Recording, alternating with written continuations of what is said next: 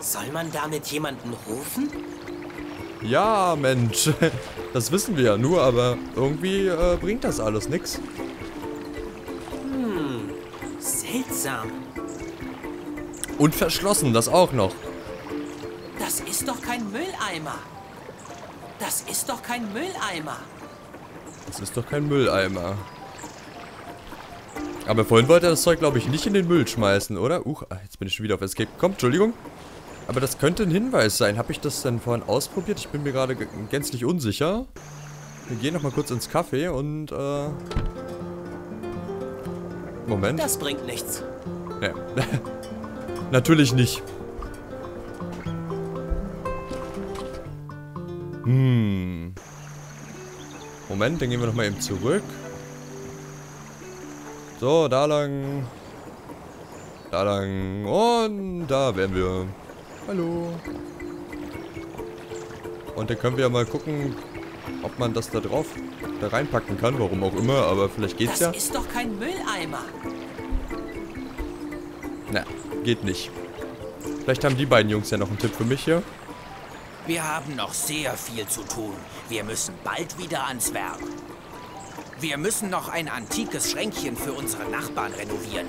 Ach, das wird ein Spaß. Ich liebe Möbel. Pass aber auf, dass du nicht wieder zu tief schwirrst. Wisst ihr was? Ich habe gerade eine Idee. Da. Mäh. Da ist Honig an dem Bienenstock. Mm, Facepalm. Oh. Ich dachte, Ja, dann äh, tunken wir da doch mal kurz den Lolli rein. gute Idee. So sieht der Lolli schon viel schmackhafter aus. Ach, trollolol. So, jetzt dürfte es aber klappen. Manchmal sieht man ja den Wald vor lauter Bäumen nicht, ne? So, dann gehen wir einmal jetzt äh, zu dem kleinen, äh, verwöhnten Burschen da und... Da, dadurch war es, glaube ich, oder? Nein, war es nicht, Mist. Da lang. Alles klar, wir kommen. So, und dann einmal das Teil hier. Guck mal, was ich habe. Was riecht da so gut? Oh, ein Honiglolli. Okay, ich sag dir was. Du gibst mir den Lolli und darfst du. Ausnahmsweise. Mmh. Lecker und gesund. Ehrlich gesagt glaube ich, dass der Lolli durch den Honig sogar gesünder geworden ist. Kann gar nicht sein. Gesunde Sachen schmecken. Seit wann sind so komische Wiesel wie du Gesundheitsexperten? Hier scheinen Tiere doch zu allem fähig zu sein. Da würde mich ein Wiesel, das Gesundheitsexperte ist, auch nicht wundern.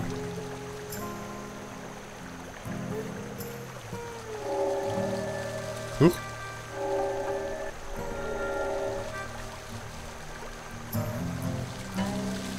Was wird das denn bitte? Was sagt denn das, äh, Dingens? Du hast eine uralte Einladung und eine magische Briefmarke bekommen. Doch, wie solltest du sie nur an alle Mauswalder verschicken? Ja, spitze ich den Jerry den Wort oder der zeigt keinen Blausaft? Okay, äh... Gut, aber hier schaue ich mir den mal eben kurz an. Moment.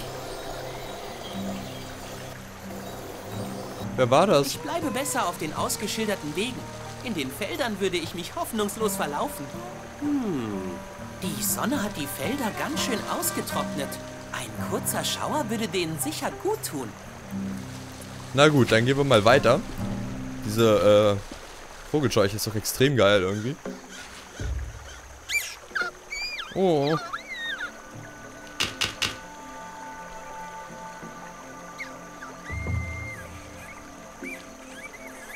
Was war das?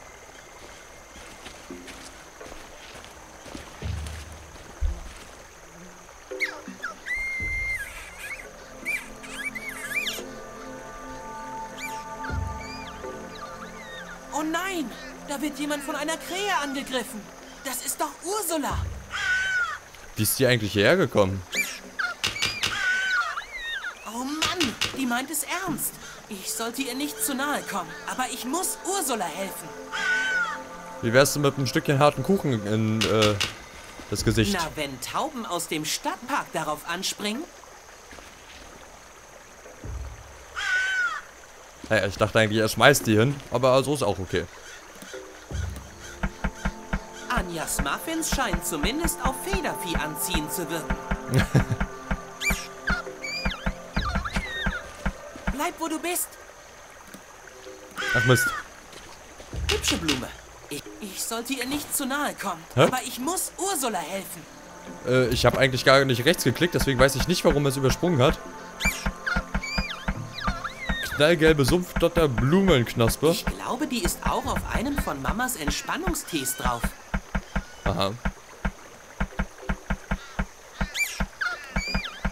Radioantenne, können wir die nehmen? kann man die Antenne flitschen lassen, um die Krähe zu verscheuchen.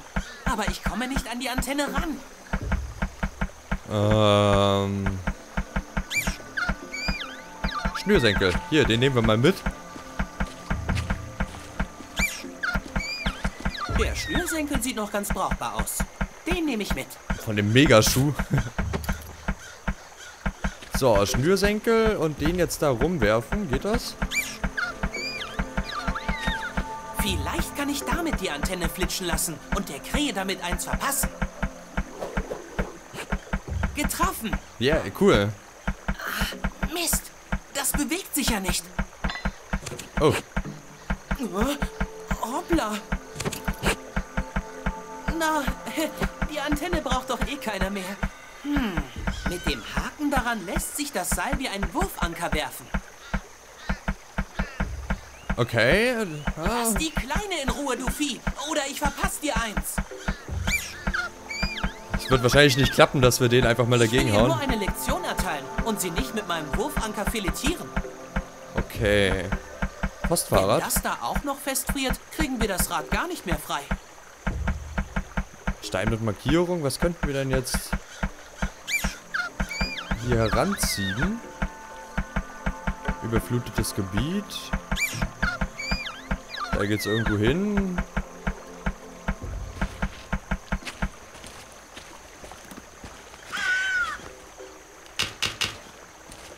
Na, wahrscheinlich müssen wir erst helfen, oder? Oh Mann, die meint es ernst. Ich sollte ihr nicht zu nahe kommen, aber ich muss Ursula helfen. Okay, also. Verwerfen wir die Idee mit der Radioantenne mal noch nicht ganz. Machen wir es mal so. So, jetzt gibt's Saures. Bams. Yeah. Cool.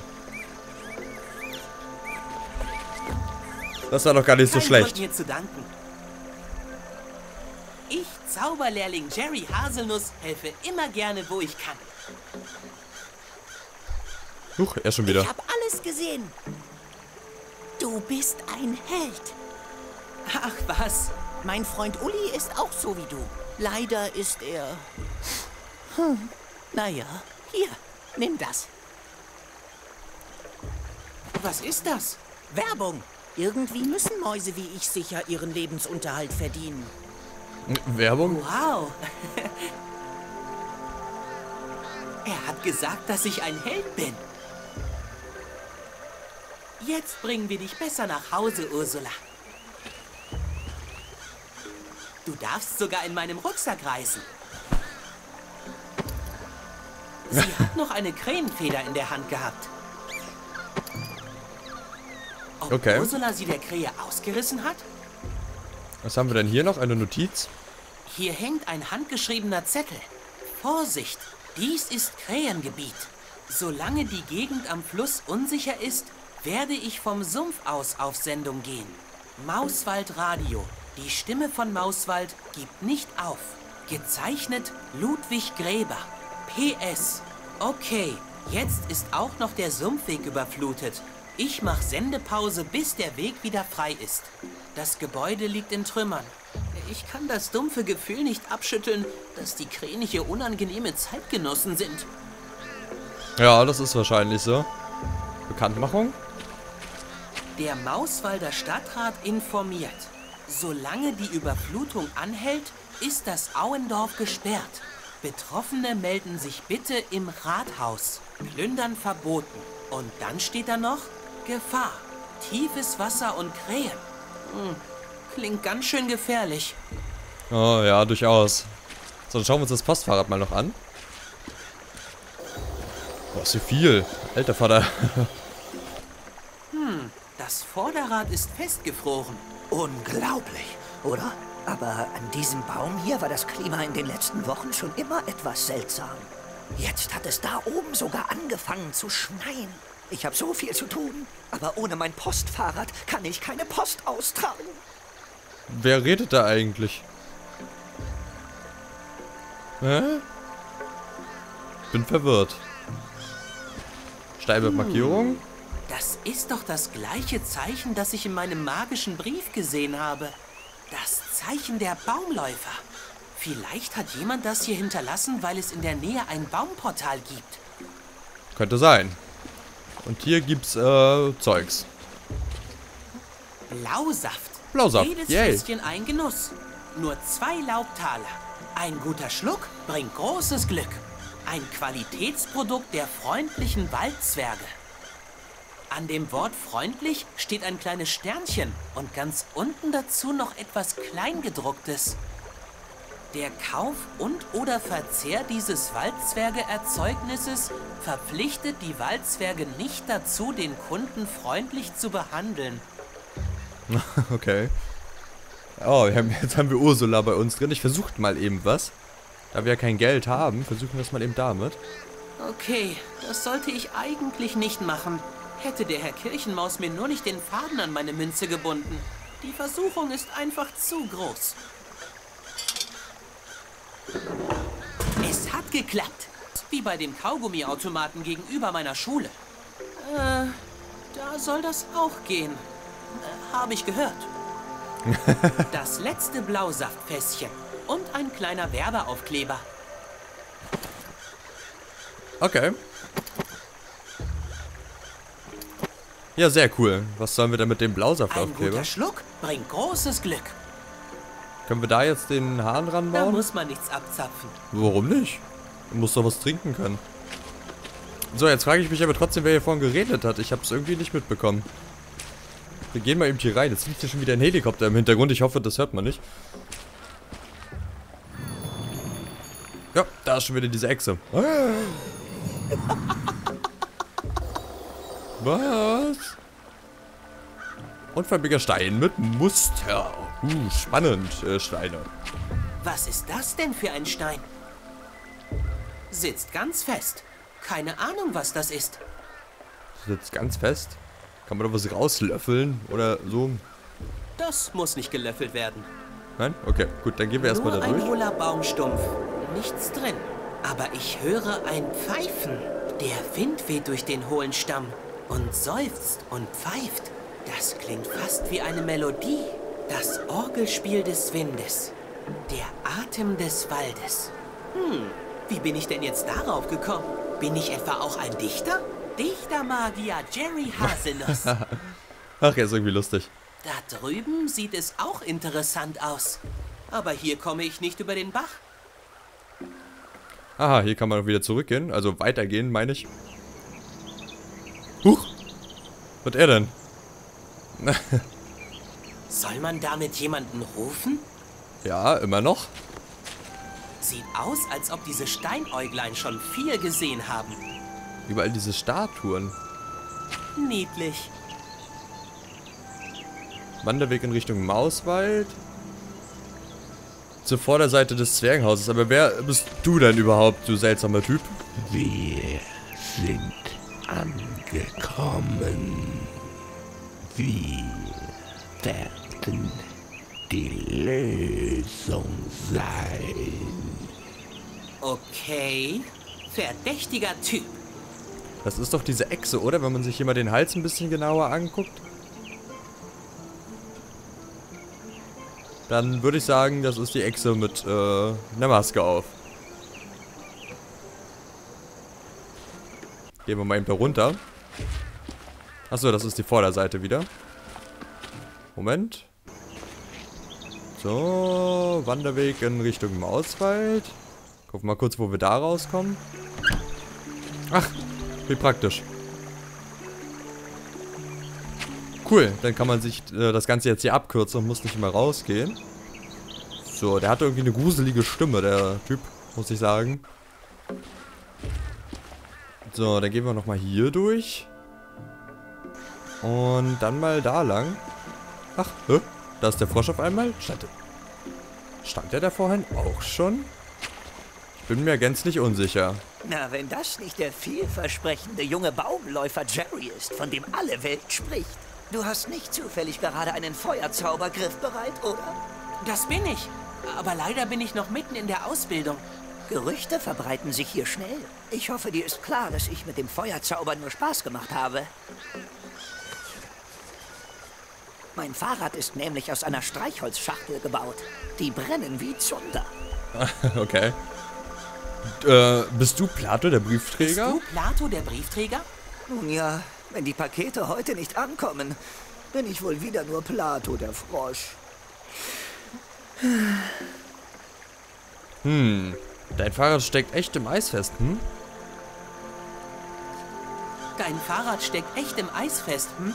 Ich denke, das Eis wird morgen geschmolzen sein. Das bringt mir aber nichts.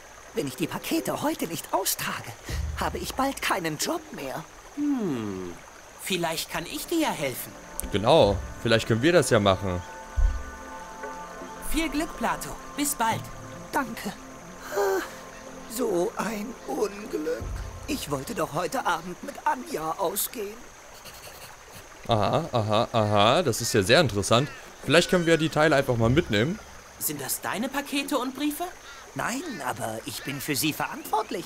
Aber jetzt ist mein Rad hier stecken geblieben und ich bekomme es nicht frei.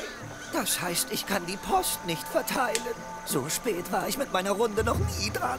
Soll ich die Post vielleicht für dich austragen? Quack. Du willst die Postsendungen wirklich für mich ausliefern? Klar. Ich laufe hier sowieso schon den ganzen Tag hin und her. Damit würdest du mir wirklich helfen. Dann kann ich auf mein Rad aufpassen. Weißt du, meine empfindlichen Froschfüße sind besser zum Fahrradfahren geeignet als zum Wandern auf Waldwegen. Kein Problem. Die Post ist schon so gut wie ausgetragen. So, dann haben wir die auch mit. Und dann würde ich sagen, gehen wir doch mal eben hier durch.